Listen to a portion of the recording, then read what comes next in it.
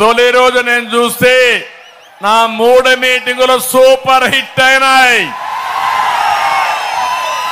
ఇక రాబోయే రోజులు అన్స్టాపబుల్ తెలుగుదేశం పార్టీ ఎన్డీఏ ఇక్కడ. ఎక్కడికి వెళ్ళినా సాగులే సాగునీరు లేని రైతు ఎదనిపిస్తా ఉంది. ఉద్యోగం లేని మా యువత కనపడస్తున్నారు నాకు. నమ్మించి తడిగుడ్డతో గొంతు కోసే ప్రభుత్వం ఏదో. మీ భవిష్యత్తు కోసం పనిచేసే ప్రభుత్వం ఏదో ఆలోచించుకోవాలని మిమ్మల్ని అందరినీ కోరుతున్నాం.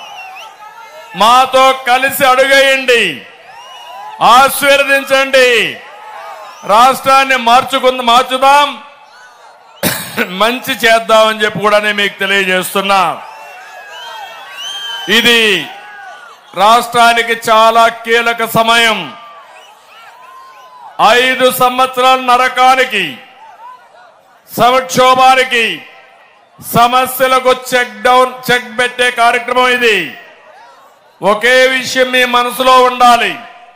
ప్రజాస్వామ్యంలో అంతిమ న్యాయ నిర్ణేతలు ప్రజలే.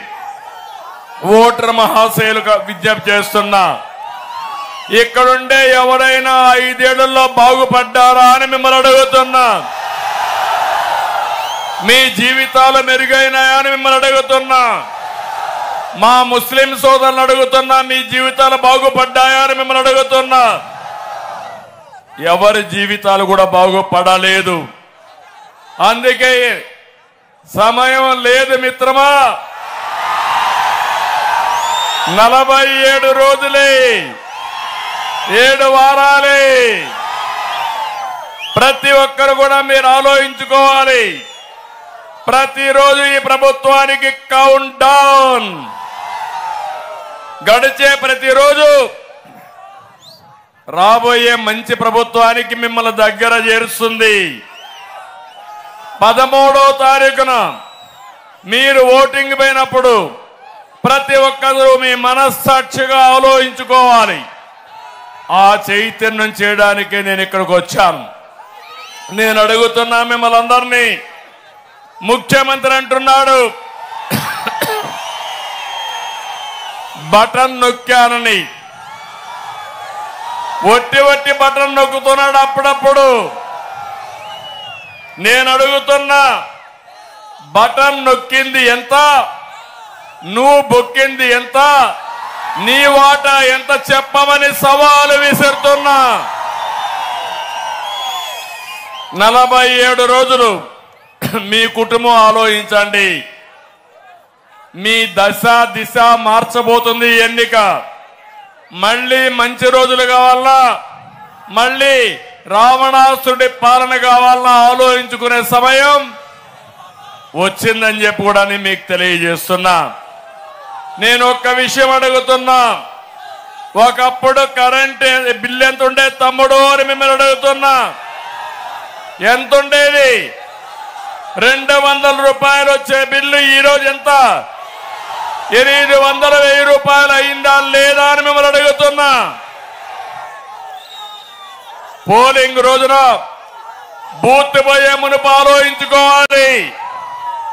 మీకు వంద రూపాయలు వెయ్యి రూపాయలు ఇచ్చి నెలకు ఒక్క కరెంటు ఛార్జీలు వెయ్యి రూపాయలు లాగేసి జలగ కావాలా మంచి ప్రభుత్వం కావాలా ఆలోచించాల్సిన అవసరం ఉంది. ఐదు సంవత్సరాల్లో ఒక కరెంటు బిల్లులో ఎంత నష్టపోయారో? ఒక్కసారి గుర్తు చేసుకోండి. దానిపైన ఓటేయండి అని మీకు అందరికి విజ్ఞప్తి చేస్తున్నా. పెరిగిన ఆర్టీసీ రేట్లు గుర్తు రావాలి.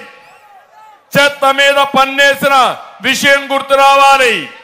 ఇంటి పన్నులు గుర్తు రావాలి. పెరిగిన పెట్రోల్ డీజిల్ ధరలు గుర్తుకు రావాలి.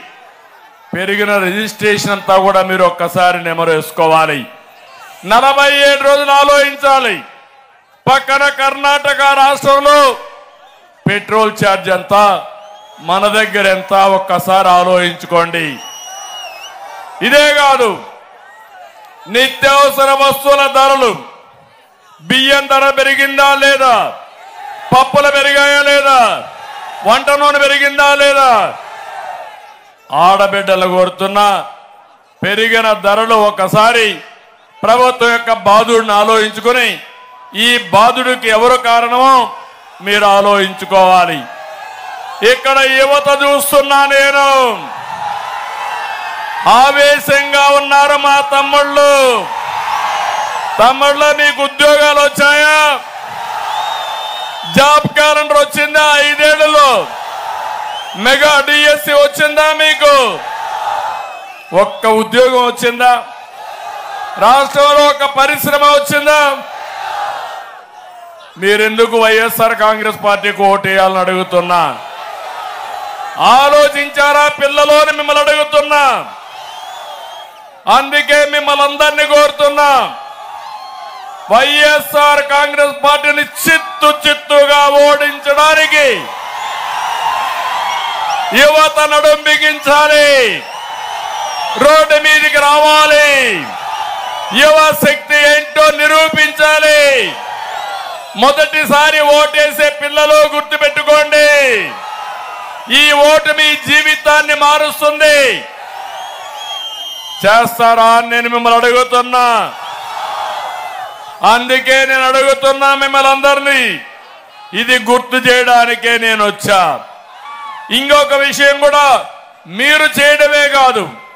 మీ ఇంట్లో పెద్దవాళ్ళకి చెప్పండి. గ్రామంలో అందరికీ చెప్పండి. మేము పనిచేసేది ఆ పిల్లల భవిష్యత్తు కోసరం పుట్టబోయే పిల్లల కోసరం తెలుగుదేశం పార్టీ మిత్రపక్షాలు పనిచేస్తున్నాం.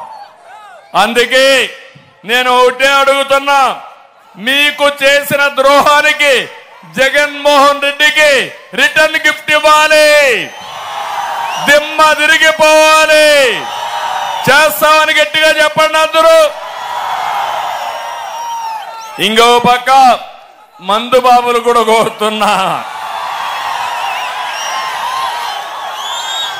ఏదో రోజంతా కష్టపడి ఏదో క్వార్టర్ వేసుకుంటే శారీరక బాధలు పోతాయనుకున్నారు పాపం. జగన్మోహన్ రెడ్డి మీ బలహీనత అర్థం చేసుకున్నాడు. అందుకే బాధుడే బాధుడు.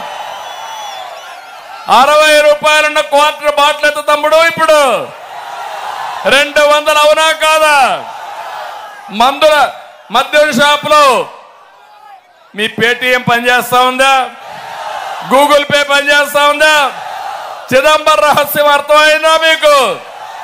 అంటే ఆ డబ్బులు ఎక్కడికి పోతా ఉంది? ఎక్కడికి పోతా ఉంది?